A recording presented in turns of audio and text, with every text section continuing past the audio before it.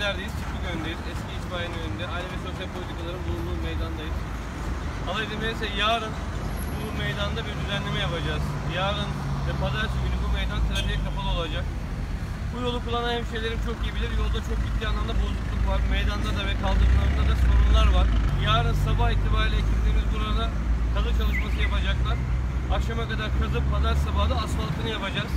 Dolayısıyla trafik e, pazar ve pazartesi günü kapalı olmuş olacak.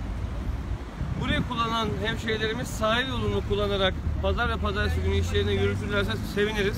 İki gün, iki gün sonra inşallah hemen açılışını e, asfaltı kullanmaya başlayacaklar. Ondan sonra kaldırım düzenlemesini trafik devam ederken de yapabiliriz. Ama iki gün boyunca pazar ve pazartesi günü Sütlükönü Mahallesi'nde eski itfaiyenin bulunduğu noktada kazı çalışması olacak ve iki gün trafiğe kapalı olacak. İnşallah bittiğinde bu bozuk yoldan da kurtulmuş olacağız. Kışa girmeden önce burayı toparlayalım istiyoruz. Hayırlı hafta sonları diliyorum. Görüşmek üzere. İyi akşamlar.